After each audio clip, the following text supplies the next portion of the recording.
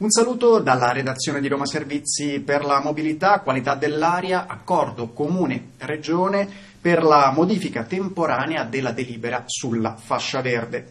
Le principali novità, posticipo a novembre 2024 dello stop ai diesel Euro 4.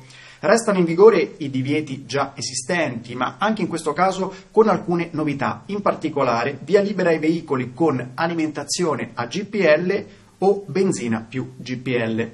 Se non si potrà fare la modifica GPL al veicolo che rientra tra le categorie più inquinanti, sono comunque previste oltre 100 giornate di libero accesso o in alternativa il move-in, una sorta di telepass che permetterà anche alle vecchie auto di percorrere un tot di chilometri all'interno della fascia verde. Ulteriori dettagli su romamobilita.it. Thank you.